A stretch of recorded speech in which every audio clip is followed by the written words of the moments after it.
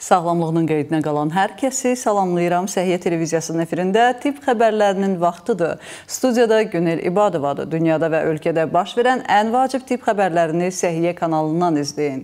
Mən isə xatırladım ki, xəbərlərə Baku Sisi Hospitalın uroloq-androloqu Mirki Mətqiyasovun sponsorluğu ilə baxırsınız. Böyrəklərinizdəki daşlardan tamamilə ödənişsiz, icbari tibbi sığorta xətti ilə qurtulmaq istəyirsinizsə, o zaman 050 662 69 92 nömrəsinə nömrəsinə zəng edib həkimin qəbuluna yazıla bilərsiniz. Biz isə keçid edək xəbərlərimizə. Bugün təsadüfən qarşıma bir neçə il əvvəl çəkdiyim şəkil çıxdı və orada maskada idim. Düşündüm ki, koronavirusda necə də dəhşətli və həqiqətən də yaddaşımıza ağır qara hərflərlə yazılmış günlər yaşadıq. Elə işə yeni çatmışdım ki, xəbərlərdə Ukraynada koronavirusun yeni ştammının sürətlə yayıldığı ilə bağlı xəbər oxudum. Ümid eləyirəm ki, bu ölkədə kifayət qədər ciddi nəzarət olacaq və digər qonşu ölkələrə bu xəstəlik, bu virus keçməyəcək, çünki yenidən həmin günlərə qayıtmağı heç bir dövlət, heç bir vətəndaşlar istəmir. Ötən həftə Kiyevdə və Ivano-Frankovsk vilayətində yeni növ koronavirusa yoluxma halları aşkar edilib. Bu barədə Ukrayna Səhiyyə Nazirliyinin mətbuat xidmətindən məlumat verilib. Bildirilib ki, iyul ayında ölkədə omikron flirt koronavirusunun yeni subvariantına 3 yoluxma halı qeydə alınıb. Mövcud peyvəndlər və gücləndiricilər effektiv olaraq qalır, lakin onlar yeni ştamdan qorunmur. Xatırladaq ki, Ümumdünya Səhiyyə Təşkilatı hələ də flirtin təhlükələri ilə bağlı konkret qiymətləndirmə aparmayıb. Son həftələr Kiyevdə COVID-19-a yoluxma halları xeyli artıb. İyulun əvvəli ilə müqayisədə koronavirusa görə xəstəxanaya yerləşdirənlərin sayı çoxalıb.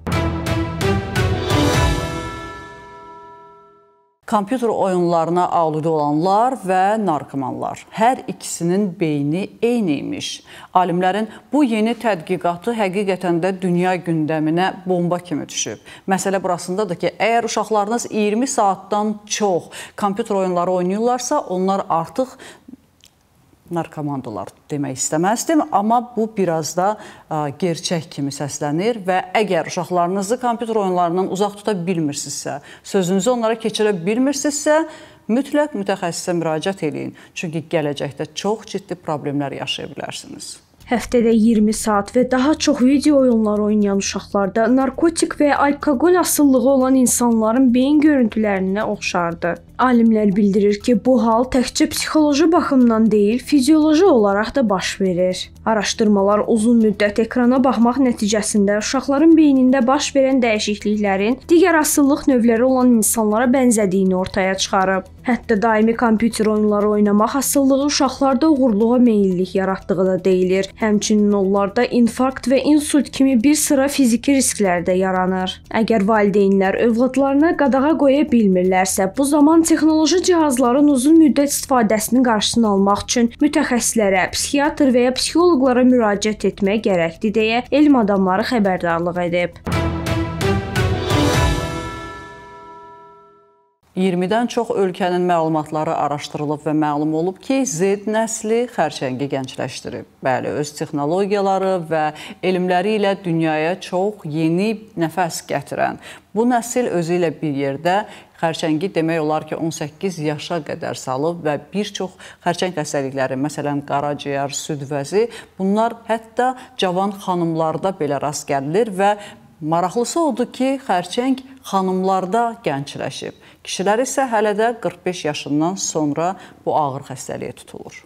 Böyük bir yeni araşdırma göstərir ki, döş, mədaltı vəzi və mədə xərçəngi də daxil olmaqla 34 xərçəng növündən 17-si gənc nəsillərdə artmağa davam eləyir. 1920-ci ildən bəri 20-dən çox ölkənin məlumatlarına əsaslanan layihədə qaraciyər, uşaqlıq yolu, öd kisəsi, testis və kolorektal xərçəngin daha çox orta yaşlı qadınlarda aşkar olunduğu, hazırda isə gənc xanımlar arasında da vüsət aldığı məlum olub. Araşdırmanın hesabatı The Lancet Public Health Health jurnalında dərc olunub. Araşdırmaya mövqe bildirən Amerika Xərçəng ilə Mübarizə Cəmiyyətinin prezidenti Liza Lakasse deyib ki, əhalinin hər yaşda olan qisminin tibbi sığortaya əl çatanlığını təmin etmək çox vacibdir.